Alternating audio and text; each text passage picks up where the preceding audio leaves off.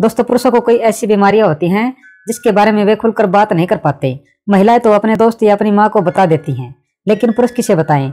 आज हम आपको कुछ ऐसे घरेलू उपाय बताने जा रहे हैं जिसके इस्तेमाल से आपकी सारी समस्याएँ दूर हो जाएँगी। हाँ टमाटर और शहद के मिश्रण के फ़ायदे बताने जा रहे हैं। इसका इस्तेमाल करके आप हर तरह की सेक्सुअल समस्या को दूर कर सकते हैं, क्योंकि पुरुषों की यह बीमारी भले ही व्यक्तिगत हो, लेकिन यह पूरे परिवार को प्रभावित करती है। सेक्सुअल समस्या के कारण पुरुष अत्यधिक भी कमज़ोर महसूस करते हैं, जिसके कारण पुरुष मानसिक अवसाद के चपेट में आ जाता है और बाबाओं और हकीमों के चक्कर में पड़ जाता है।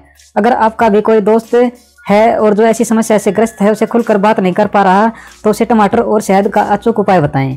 इसका इस्तेमाल करना बहुत आसान है। इसके लिए रोज सुबह नाश्ते में एक गिलास टमाटर के जूस का लें और इसमें दो चम्मच शहद मिला लें और इस मिश्रण को पिए। इसे पीने से वीर्य में वृद्धि होगी और संभोग की शक्ति बढ़ेगी। ध्यान रखें कि इस जूस को पीने में एक घंटा पहले और एक घंटा बाद किसी भी तरह की कोई कॉफ़ी या सेवन न करें।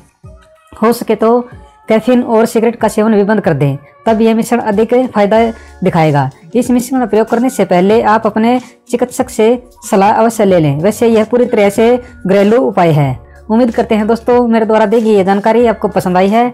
अगर पसंद आई है तो कमेंट सेक्शन में ज़रूर बताएँ और साथ में वीडियो को व्हाट्सएप, फेसबुक और ट्विटर पर शेयर करें। तब तक के लिए दोस्तों, मिलते हैं एक नए वीडियो में नई जानकारी के साथ। नमस्कार दोस्तों।